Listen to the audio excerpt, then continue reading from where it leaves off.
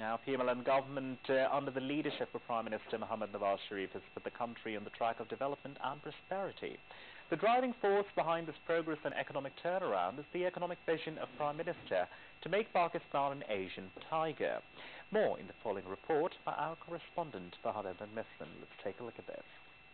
The Prime Minister Mohammad Nawaz Sharif assumed his office at a time when the economy was crippled with many challenges including energy shortage, hyperinflation, mild economic growth, high debt and large budget deficit. The GDP growth rate of the country was hitting to a historic low of 3.2%. The foreign exchange reserves have shrunk to 6 billion rupees and stock exchange market was on the verge of crashing. The international financial institutions were projecting that Pakistan's economy will default.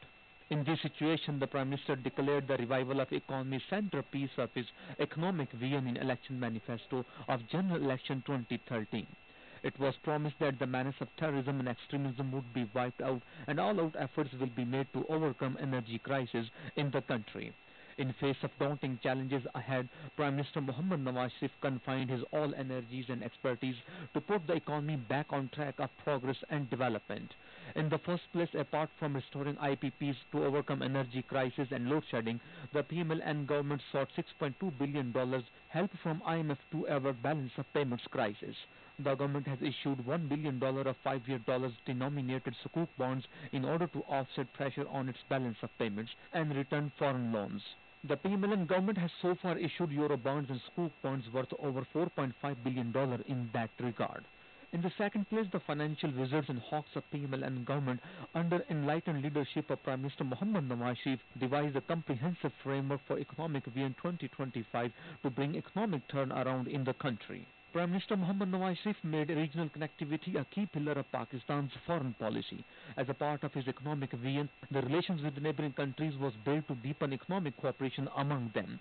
The game-changing $56 billion project of China-Pakistan Economic Corridor was signed with China. The project has catapulted Pakistan to be among the leading markets of the world. The government kick-started multiple projects to combat energy crisis on priority basis. Around seven power projects are about to be completed. In addition to these projects, the government, owing to multi-pronged and sound strategy, has improved the situation of law and order, including Karachi, which ultimately provided conducive environment for economic growth and development.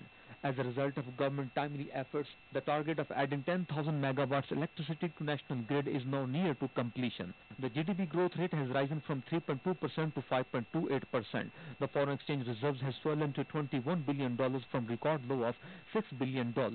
It is natural fruit of Prime Minister Mohammad Nawaz Sharif's untiring efforts. The Pakistan Stock Exchange has included in the five leading, thriving, flourishing and emerging stock markets of the world the exports have risen to unprecedented level. Despite creating job opportunities, the economic projects under CPEC will help stabilize the country's economy. Pakistan has first time in her history has successfully completed its IMF program. The world leading financial institutes are acknowledging that Pakistan's economy has now come back on the track of stability, progress and development the country's economic policies are in right and forward direction. It is not that economic of Prime Minister Mohammad Nawaz Sharif is the product of present regime. Rather, being student of business and economy at government college, he has always dreamt of economic prosperity and progress of the country and made it his ideal to turn the plight of common man. During his stint from 1990 to 1993, his government introduced new transport policy, gave loans for public transport buses, wagons and yellow cab scheme. Prime Minister also set the unprecedented milestone by initiating his policy for laying the foundation of motorway network throughout the country. Prime Minister also continues his economic vision into second tenure of 1998-1999. The network of motorways, highways and better communication was underway when his government was toppled and now again Prime Minister is turning his dream to make Pakistan an Asian tiger with dedication and devotion. Fahad Ahmad Misran, PTV World, Islamabad.